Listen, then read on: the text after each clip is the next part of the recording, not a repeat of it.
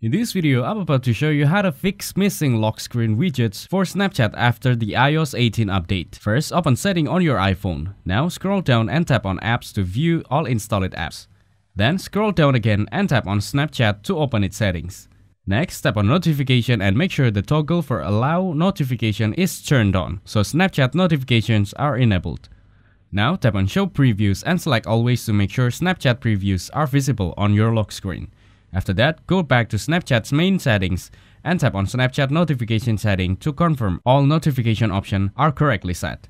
Now, return to the main settings menu and tap on wallpaper. Then tap on add new wallpaper to adjust your lock screen. Next, tap on customize and choose the blur option if you'd like to add a blur effect to the background. Then tap on widgets to bring up available widget options. Now tap on the Snapchat icon to add it to your lock screen widgets. Once added, you'll see the Snapchat widget display on your lock screen, allowing easy access to Snapchat's features. Thanks for watching, don't forget to like and subscribe.